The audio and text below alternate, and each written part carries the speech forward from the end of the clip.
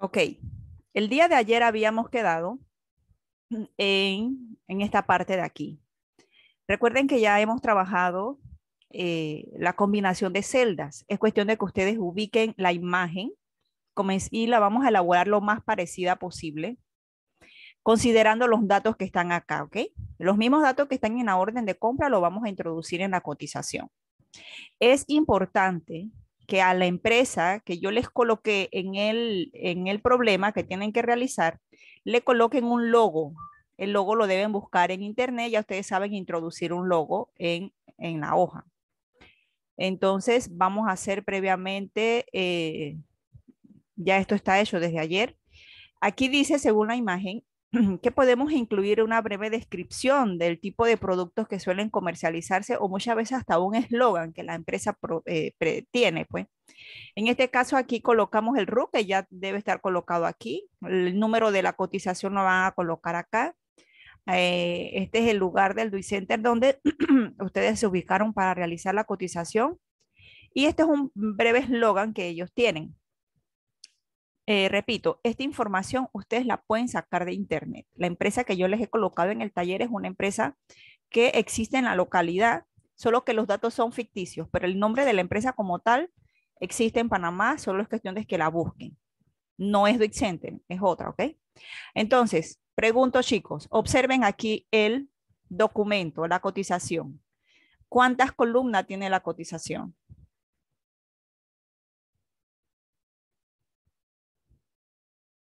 En base a las columnas que ustedes vean allí, es que vamos, correcto, es lo en lo que vamos a trabajar. Tengo cinco columnas, así que aquí vamos a ver una, dos, tres, cuatro, cinco, seis, siete. Al parecer, el día de ayer, nosotros seleccionamos siete columnas porque yo les había anexado aquí una cotización eh, diferente a esta, pero considerando que vamos a utilizar los datos que aparecen en la orden de compra, vamos entonces a configurar esto. Ya no son siete, sino que son cinco. Los seleccionamos nuevamente, uno, dos, tres, cuatro, cinco y los combinamos. Y así va a quedar. Lo mismo hacemos en la parte de, abajo. Ustedes simplemente se colocan en las celdas que ya colocar, que ya combinaron y vuelven a, a darle clic a la opción de combinar y centrar y ella se vuelve a colocar en la posición que estaba. Seleccionamos nuevamente las 5 y los combinamos. Vamos a pegar acá al margen izquierdo para que la cotización aparezca aquí. Vamos a hacer la misma gestión con cada uno de los renglones porque el día de ayer habíamos utilizado 7 columnas. Combinamos 5. Aquí se puede reducir un poco el tamaño para que esté dentro de la... Y aquí también combinamos 5. Aquí en, las cintas de opción, en el grupo de comando de alineación, si algo no les cabe aquí en un renglón, ustedes lo pueden ampliar un poco o se van aquí donde dice ajuste de texto. Él va a ajustar el texto dentro de esa celda que hemos combinado. Y al ajustarlo, él queda así. Ampliamos un poquito más aquí esta fila y queda así. Podemos achicarlo un poco más, pero ya tamaño 8 está súper chiquito, así que no lo vamos a achicar más. Así está bien. Vamos entonces a trabajar con las cinco columnas que aparecen aquí. Antes de esas cinco columnas vamos a contar las filas que aparecen en la parte superior. ¿Alguien me puede indicar cuántas filas hay aquí contando los celestes y los blancos y este espacio que está aquí?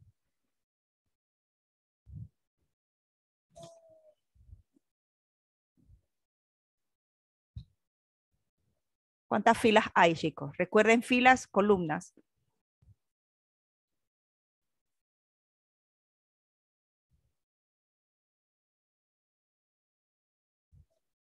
¿Cuántas filas hay, bellos? Contemos aquí, hasta aquí, hasta este espacio que está en blanco. ¿Cuántas hay? Tres. Seguro, vamos a contarlo. ¿Ve? Uno, dos, tres, cuatro, cinco, seis y siete. Hay siete filas. Recuerden que estas son columnas y estas son filas. Pero las columnas guías son las que me mencionaste en antes, Brandon. Son cinco columnas, solo que aquí arriba observas que están combinadas. Eh, por eso es que tienen que guiarse por la, la, información que les muestra más columna, el cuadro que les muestra más columna, esa va a ser su guía. Lo que está arriba está combinado. Entonces vamos a empezar a combinar aquí. Observen que aquí hay dos columnas, que estas aquí se han combinado. Vamos a saltarnos un pequeño renglón aquí y vamos a combinar una y dos. Vamos a combinar dos. Antes de combinar, observen que esta es la columna A y esta es la columna B. La columna B está más ancha. Vamos a ancharla de forma manual. La vamos a ampliar hasta aquí, hasta que diga más o menos 25. Ahí la podemos dejar. Y vamos a empezar entonces a combinar siete filas. Combinamos la primera, combinamos la segunda, combinamos la tercera, combinamos la cuarta, combinamos la quinta y combinamos la sexta. Porque la séptima es un renglón, ¿ok? Aquí vamos a empezar a colocar la palabra cliente. Luego vamos a colocar, nos saltamos un renglón, vamos a colocar dirección. Y nos saltamos otro renglón y colocamos email. ¿Ok? Entonces, ya una vez colocado esto, vemos que en la tercera columna vamos a colocar teléfono y ciudad en esta misma línea. Colocamos entonces teléfono. Vamos a ponerle tilde a la E. Y aquí vamos a poner ciudad. A ver qué más me sale aquí. Fecha y hora, contacto. Aquí observen, fecha, hora y contacto abarca las columnas, las dos últimas. Así que hay que combinarlas. Así que combinamos esta, la que sigue también. Las cuatro que siguen las vamos a combinar. Aquí. Y vamos a colocar entonces fecha slash hora. Nos saltamos un renglón y vamos a poner contacto. Y en esta última, aquí vamos a introducir la información de esta seleccionamos estas tres columnas, guiándonos aquí mismo por la fila 11, y lo vamos a combinar para colocar el título de vendedor. El vendedor que está atendiendo a la persona que está cotizando. Vendedor. ¿Ok? Todo esto lo vamos a configurar, lo vamos a centrar.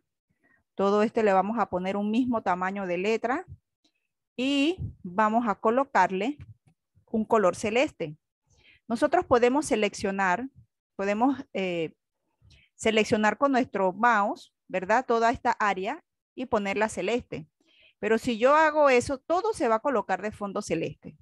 Yo le doy así, se va a poner todo de fondo celeste. Vamos a usar este celeste.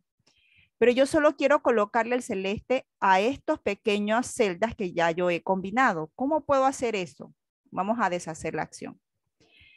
Yo mantengo presionada la tecla control de mi teclado y yo puedo ir seleccionando por separado cada una de ellas. Observen, en mi teclado la tecla control yo lo mantengo presionado. Ya seleccioné cliente, lo mantengo presionado y selecciono dirección, selecciono email, selecciono teléfono, selecciono ciudad. No he dejado de presionar el control, lo tengo presionado, fecha, contacto y vendedor. Está seleccionado todo eso y me voy aquí a celeste, quiero colocarle el relleno celeste y así lo he colocado. ¿Ok? Para que sea más rápido, a veces seleccionamos esto, celeste, dirección celeste, email celeste, cada uno celeste, mejor lo seleccionamos manteniendo presionada la tecla control. Ok, aquí vamos a combinar esta celda y ya podemos ir colocándoles un borde. Me voy a ponerle borde aquí, todos los bordes, perdón, me faltó seleccionar la última. Me voy aquí a ponerle en todos los bordes y ya está cogiendo forma mi cotización. La parte de abajo ya ven que vamos a colocar aquí, nos saltamos un renglón, vamos a colocar número, vamos a colocar artículo,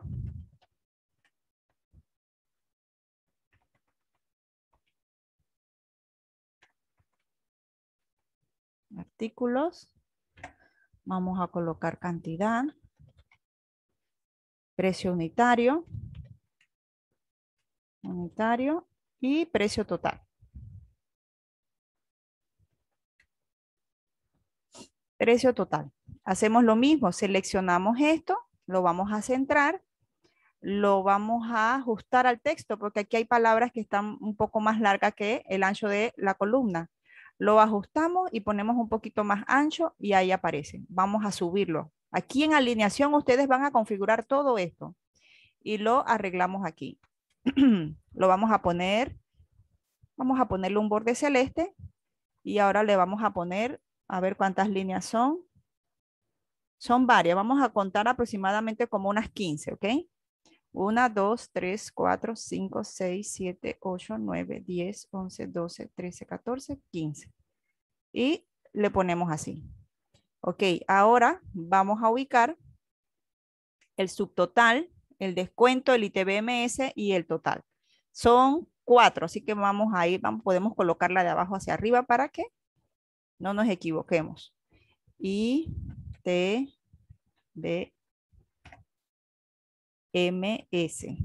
que es el 7%. Vamos a poner aquí un descuento, si en tal caso se presenta.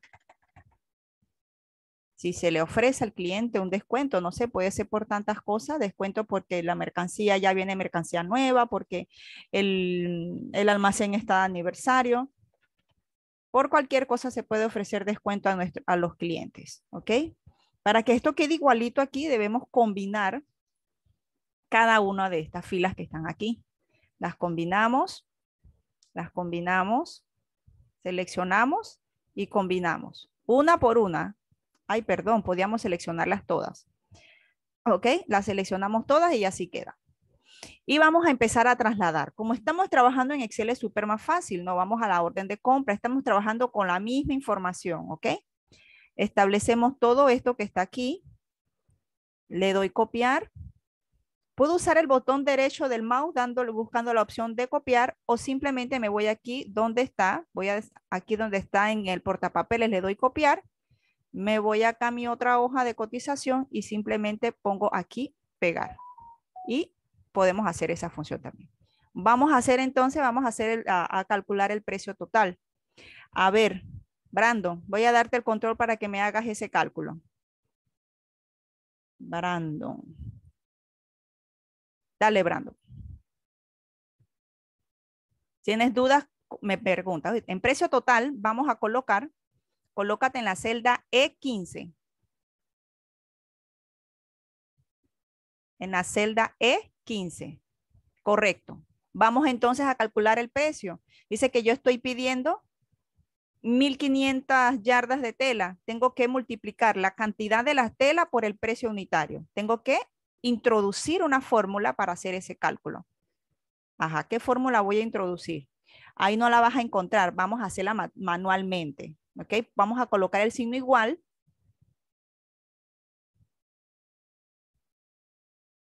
Ajá. Ahora selecciona la cantidad. Vamos a poner por, ya ustedes saben cuál es el símbolo que utilizamos para multiplicar en Excel. Es el asterisco. Ajá, ahora vas a darle clic a donde dice precio unitario y puedes darle enter o le das arriba con el ganchito. Ok, ahí te salió los 67,500. Colócate de nuevo en esa misma celda donde te dio el resultado y vamos a hacer, vamos a autocompletar. ¿Cómo autocompletamos? Colocándonos en el cuadrito chiquitito que aparece en la esquina inferior derecha. El puntero tiene que colocarse negrito. Déjame, ¿será que lo amplío, amplío un poquito más la pantalla para que puedas verlo? Espérate un momentito, voy a tomar el control, ¿ok? Espérate un momento. Vamos a ampliar un poquito. ¿Ves que en el, y ahora sí, ves que en el, en la celda esa, hay un cuadrito negro en la esquina inferior derecha? Colócate eso. El puntero tiene que aparecer en esa forma. Ahora vas a deslizarlo hasta donde dice la celda, hasta la 21, hasta la E21. Lo vas a desplazar hasta la 21 y le das clic, ya lo puedes soltar y eso se llama autocompletar, ¿ok? No es necesario que hagamos la operación una por una. Puedes autocompletar. Ok, ahora vamos a sacar un subtotal. Ahora sí puedes utilizar el comando de autosuma que aparece en la parte superior. Colócate allí, correcto. Vamos a hacer un autosuma. Y listo, así está bien. Le das enter. Ahí aparece un subtotal. Resulta que vamos a hacer un descuento ficticio. La empresa está, está de remate, en sentido que quiere salir ya de esta tela porque tiene un inventario viejo y viene nueva mercancía para el almacén y están haciendo un descuento de, vamos a hacer un descuento del 15%. Del 15%, ok. Entonces ahora mira lo que vas a hacer. Permíteme un momentito. Voy a tomar aquí, voy a colocar aquí el 15% y acá abajo voy a poner el 7. El 7% para que estén ahí solitos. Donde dice descuento, nosotros vamos a aplicar el descuento a los 85,740. Entonces, colócate en la celda esa que, que donde vamos a colocar el descuento. Ajá. Vamos nuevamente a introducir una fórmula. Vamos a utilizarlo, vamos a hacerla manualmente. Ajá. Vamos a colocar el signo igual, correcto. Colócate, vamos a seleccionar el monto que está arriba, los 85,740. Ajá, eso le vamos a, a multiplicar el 15%. Ya sabemos cuál es multiplicar, ajá. Y selecciona el 15. Ya yo copié el 15% en la celda F27, correcto. Y le puedes dar Enter o le, das clic al ganchito. El descuento que se le está ofreciendo al cliente son de 12,861 balboas. Ahora, tienes que realizar un, tenemos que realizar eh, fuera de la cotización un resultado que me arroje la resta de los 85 mil menos los 12 mil 865. Puedes colocarte en la parte de arriba donde de los, del 15%, porque necesitas saber el resultado. Ajá. Puedes colocar el signo igual y ahora vas a restar 85.740 menos 12.861.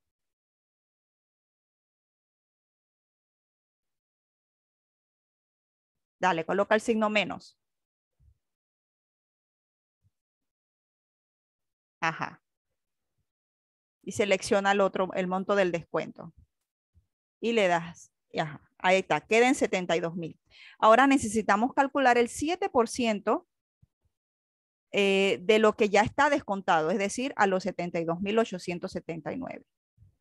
Ahora selecciona los 72.879, porque ya eso tiene el descuento. Ahora el descuento le vamos a aplicar, ya hace como un subtotal. Le vamos a aplicar el 7%, lo vamos a multiplicar. Recuerda el símbolo de multiplicar, ajá, 7%, le das enter y ahora para saber el total, el total es lo que ya voy a pagar. Entonces yo voy a pagar el ITBMS más los 72.879. Así que puedes colocar nuevamente el símbolo igual, 72.879 más el impuesto. Recuerden que el impuesto hay que sumárselo porque eso es algo que hay que pagarle al Estado. Y le da gente. Listo. Ese es el total que debemos eh, pagar que la persona debe pagar. Y así es como nosotros vamos a llenar la cotización. Hago la salvedad que dentro de esto, estos documentos tienen relación uno con otro. El día que ustedes vayan a comprar unos materiales para X proyecto, ustedes primero lo que van a solicitar es una cotización. La persona o el vendedor te atiende y te va a decir esto que te puedo ofrecer una cotización o tú se la puedes pedir también. él te brinda la cotización, tú te la llevas para tu casa, la estudias, la analizas, miras si te conviene o no te conviene y entonces vas y si van a llegar a un término de pago o algo así, ustedes entonces solicitan una orden de compra para que eh, se vaya procesando el pedido de lo que ustedes van a comprar. Primero se hace la cotización y luego se hace la orden de compra. En la orden de compra se pueden hacer ajustes, ¿sabes qué? Ya no te voy a pedir 1500 yardas de tela, sino que te voy a pedir 1000 se hacen ajustes para, según la necesidad pues, que tenga el cliente, pero el primer documento que funciona es la cotización y luego la orden de compra. Ok, chicos, vamos a... Gracias, Aaron. Brandon, perdón, muy bien. Vamos a detener aquí la control.